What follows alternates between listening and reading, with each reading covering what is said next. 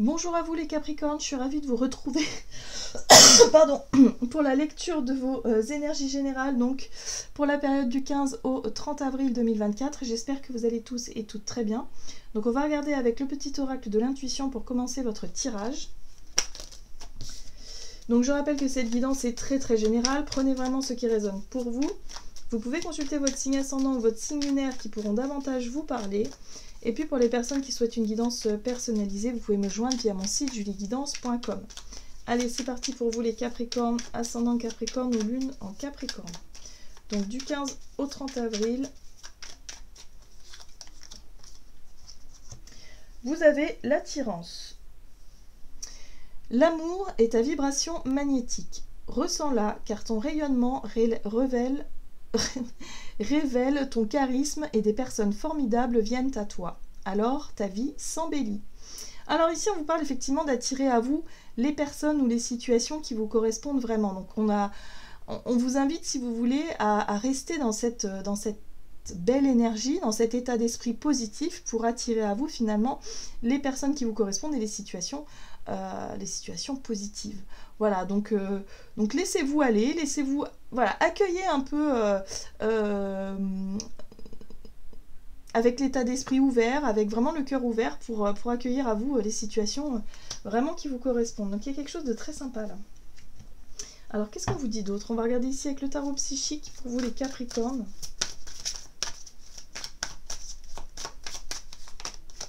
Ok, bon, alors attention quand même. Attention quand même parce que, euh, bah il va falloir faire attention à ce que vous dégagez.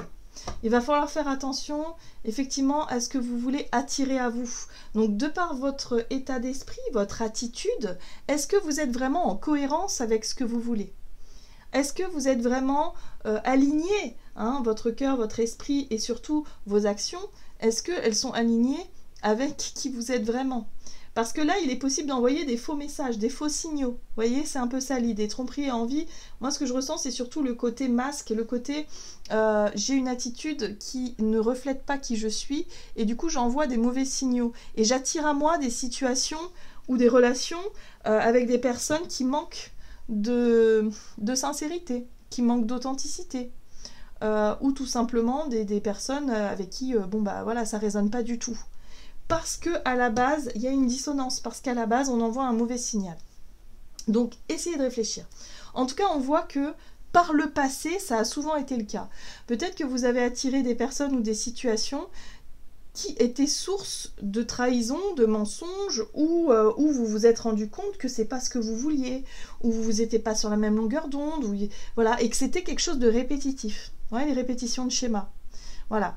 Donc ça, c'est en lien avec, votre passé, votre vécu, vos souvenirs, euh, tout, ce qui fait, euh, tout, ce qui fait écho à tout ça. Ok.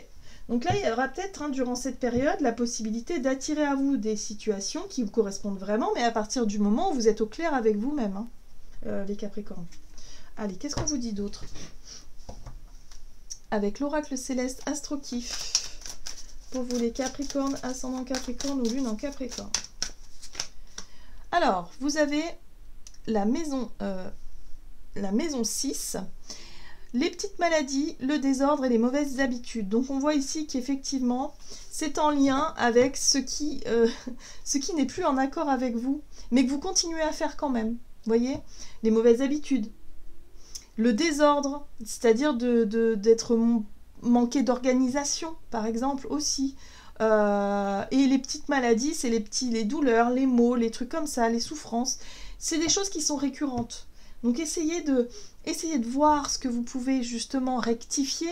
Euh, c'est pas forcément des choses dramatiques, hein, euh, c'est pas forcément. C'est des petites choses, des petits détails qui font que bah, vous n'êtes pas vraiment cohérent avec ce que vous voulez. Parce que vous attirez à vous des situations qui génèrent des choses négatives. Vous voyez ce que je veux dire?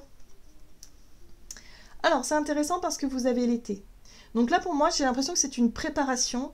Euh, là, en tout cas, cette période-là, elle est très importante pour que vous puissiez faire la lumière sur ce qui bloque, sur ce qui est encore euh, dissonant par rapport à, votre façon d'être, par rapport à, vos, habitudes qui sont plus du tout cohérentes, pour que vous puissiez les changer et pour que peut-être d'ici cet été, les choses arrivent enfin. Euh, vous allez pouvoir attirer enfin la bonne personne ou la bonne situation euh, qui vous corresponde vraiment, voyez Mais en tout cas, d'ici là, il y a peut-être un travail à faire par rapport à ça. Ok, qu'est-ce qu'on vous dit d'autre? On va regarder ici avec l'oracle chercheur de lumière pour vous les Capricornes, ascendant Capricorne et lune en Capricorne du 15 au 30 avril. Le guide. Bon, très bien. Alors on voit ce personnage qui tient un miroir ici et qui cherche la, qui cherche la lumière justement, qui cherche à être guidé. Et là c'est intéressant parce que ce qui va pouvoir vous guider, c'est cet effet miroir justement qui vous montre vos propres incohérences. Euh, le fait pour vous de penser quelque chose, hein, d'avoir vraiment compris peut-être ce que vous voulez, compris euh, ce que vous ne voulez plus, euh, les choses que vous avez pu guérir, les choses que vous avez pu comprendre, mais que vous ne mettez pas encore en pratique. En général, c'est ça, c'est ça la, difficulté, c'est, d'avoir tout compris, de se dire bon bah ok, je sais que maintenant je dois faire ça, ça, ça, mais la difficulté, c'est justement de passer à l'action. Bah, c'est un peu ça que je ressens chez vous, c'est-à-dire que vous avez du mal à mettre en pratique euh, les choses qui vous correspondent vraiment, les changements que vous devez effectuer dans votre quotidien pour attirer à vous ce que vous désirez. Voilà. Donc laissez-vous guider par justement euh, ce que vous savez déjà, euh, ce, que, euh, ce, que, vous montre l'univers pour que vous puissiez changer ce qui a besoin d'être changé. Et voilà. Et donc il va falloir revenir à les fondations. Fondations, c'est les bases saines, c'est les bases solides. C'est bah, les fondations, ça peut être effectivement vous appuyer sur, sur ce qu'il y a de positif en vous et de vous concentrer là-dessus et de vous dire ok, bon, euh, je manque d'organisation, j'ai des mauvaises habitudes dans mon quotidien. Sur quoi est-ce que je peux m'appuyer pour changer tout ça? Euh, voilà. Est-ce que j'ai le temps nécessaire? Est-ce que j'ai bon si j'ai pas l'argent, comment est-ce que je peux faire différemment? Est-ce que je peux essayer de retrouver en tout cas euh, un équilibre dans mon quotidien qui soit plus cohérent avec ce que je veux et avec qui je suis pour attirer à moi encore plus de lumière? Vous voyez ce que je veux dire? D'accord. On va regarder du côté de votre énergie d'action et activité avec l'oracle mission de vie pour vous les Capricornes, ascendant Capricorne, lune en Capricorne. Ah, il y en a trop. Donc du 15 au 30 avril. Vous avez le conquérant de la guérison, très bien. Donc là, ici, il y a une recherche d'équilibre et d'harmonie. Il y a une recherche, effectivement, il y a l'idée de vouloir guérir, de vouloir dépasser certains blocages, euh, de vouloir changer ces, ces mauvaises habitudes-là pour trouver enfin un équilibre. Donc là, on voit bien qu'il y a des démarches. Vous faites des démarches en ce sens-là. Donc ça, c'est positif. Ça veut dire que vous passez à l'action. Vous êtes en recherche, euh, effectivement, de, méthodes, de protocoles, de, quelque chose qui vous correspond davantage pour chercher à trouver cette harmonie et cet équilibre. Alors, on va regarder avec le tarot The Well of the Year pour vous les Capricornes.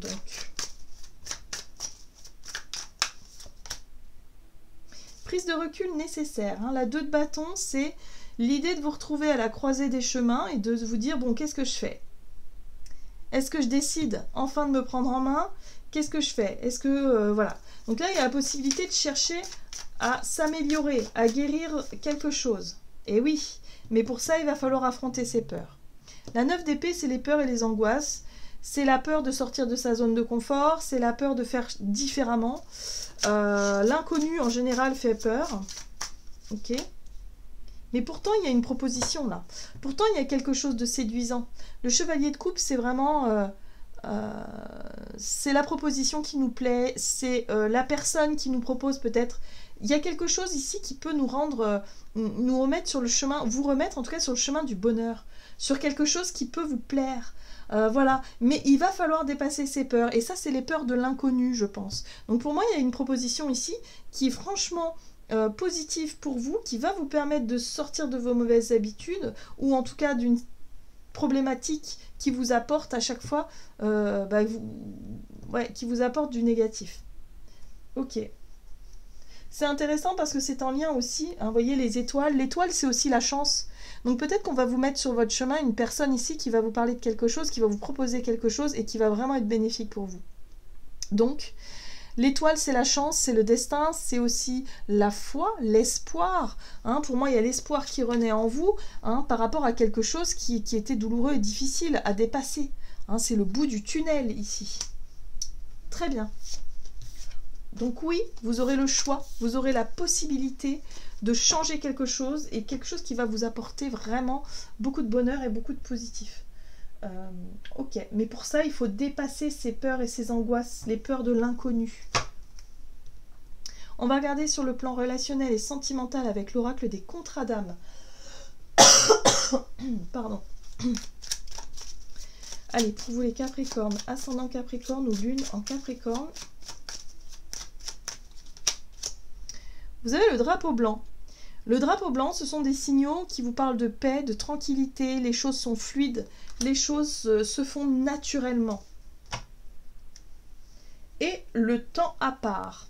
Donc là, on voit effectivement qu'il euh, y a peut-être un besoin dans votre vie relationnelle, hein, si vous êtes en couple par exemple, euh, il y a un besoin aussi de prendre du temps chacun pour soi dans des activités personnelles. Donc là, on voit qu'il y a quelque chose qui fonctionne là.